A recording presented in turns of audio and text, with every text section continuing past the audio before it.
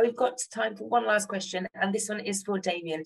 Uh, this question asks, what sort of ethics frameworks do you recommend for use with tools and techniques like this?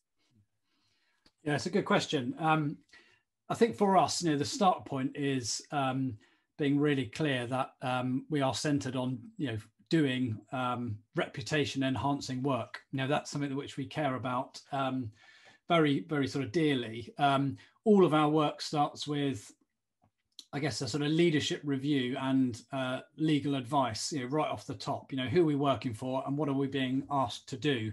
Um, and we always provide, um, I guess, a sort of red team uh, judgment check internally to make sure that um, we are we're confident and, and content, ready to proceed, um, and that we're doing stuff that's, I guess, in the spirit of of what um, what's at the core of the business. You know, that's really important. I guess people will have heard of you know the Daily Mail test about whether you know what you're doing if it was reported in the Daily Mail, um, would it be positive or negative? I have a sort of slight variation on that, which I've found serves me well, which is um, you know can I explain it in simple terms and justify it to my three children?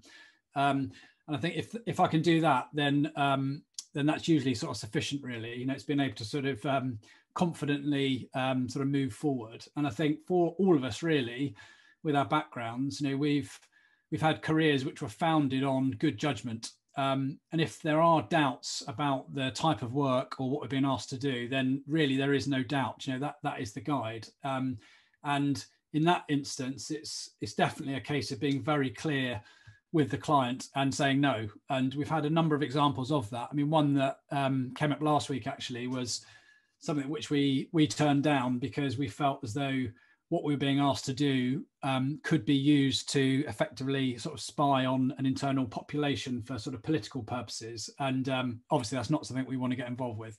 So, um, so this is about, I think, um, sort of being very clear on uh, what sort of business you are, what sort of people you are, and sort of how you want to do business. Frankly, um, and as a sort of side note, that advisory work on ethical frameworks is um, is a sort of um, a service we have delivered actually in, in the past because um, because it is, it is I say it is something which is really important to us, and you know you have to have a strong moral compass to work in this space, um, particularly with um, open source technologies and tradecraft and sort of what's possible really. But we have found that um, over the long term, clients value that um, that honesty and the value that they get from us by being um, absolutely straight down the line and unequivocal about um, about what we're prepared to do. Because um, you know, clients are looking to us. You know, back to one of my original points to mitigate risk. And if if we um, don't play with a with a straight bat and are honest with them and show integrity around our